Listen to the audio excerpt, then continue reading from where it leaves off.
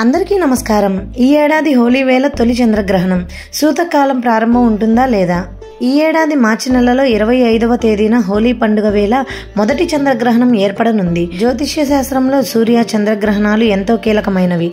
ఈ నేపథ్యంలో ఈ ఏడాది తొలి చంద్రగ్రహణం ఏర్పడనుంది.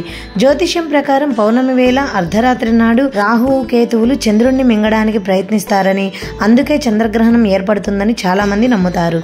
ఈ గ్రహణ సమయాన్ని అశుభంగా పరిగణిస్తారు. గ్రహణం సమయంలో చాలా మందికి ప్రతికూల ప్రభావం పడుతుందని జీవితంలో అనేక సమస్యలు తలెత్తుతాయని చాలా మంది నమ్ముతారు. శాస్త్రీయ పరంగా చూస్తే సూర్యుడు చంద్రుడు భూమి మధ్య మార్పు మాత్రమే. వీటినన్నింటి సంగతి పక్కన పెడితే ఈ ఏడాది మొదటి చంద్రగ్రహణం ఎప్పుడు ఎక్కడ ఏర్పడనుంది? అసలు ఇది మన దేశంలో కనిపించనుందా? ఈ చంద్రగ్రహణాన్ని ఏ సమయంలో చూడాలి?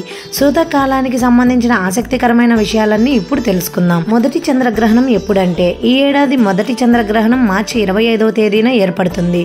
ఇది పాక్షికంగానే ఏర్పడుతుంది. ఈ గ్రహణం మార్చి ఇరవై ఐదవ తేదీన ఉదయం పది గంటల ఇరవై మూడు నిమిషాలకు ప్రారంభం ప్రారంభమై మధ్యాహ్నం మూడు రెండు గంటల వరకు ఉంటుంది. సూతకాలం ఉంటుందా?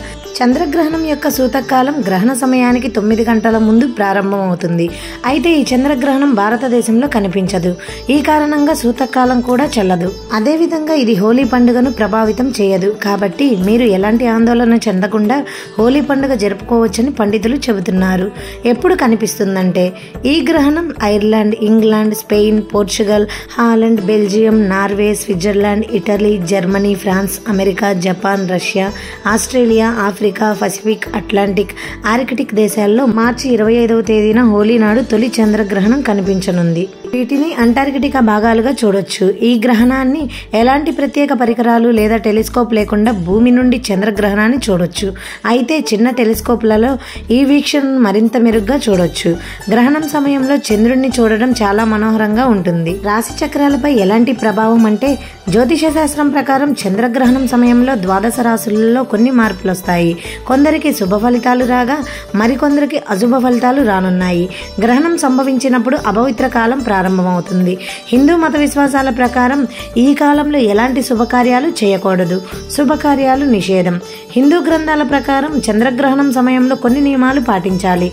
ఈ కాలంలో ఎలాంటి పూజలు చేయకూడదు. అందుకే దేశవ్యాప్తంగా అన్ని చోట్ల గ్రహణం వేళ ఆలయాలన్నీ మూసేస్తారు. గ్రహణం ముగిసిన తర్వాతే ఆలయాన్ని సంపూర్ణంగా శుద్ధి చేసి పూజా కార్యక్రమాలను ప్రారంభమిస్తారు.